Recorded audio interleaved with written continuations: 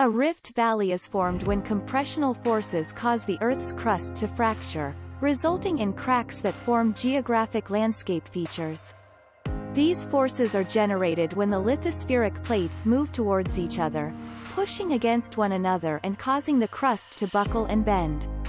This pressure forces the surrounding area to sink or rise, creating a valley with a valley floor that drops lower than what surrounds it.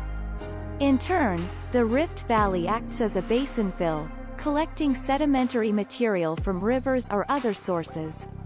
As time passes, the crust breaks apart further and tears, leading to the formation of mountain ranges, such as the Alps or the Sierras. Eventually, a lake or sea may fill the valley, leading to a new geographical feature. Don't forget to subscribe to GeoQuizGames.com and to show your support by liking our publications.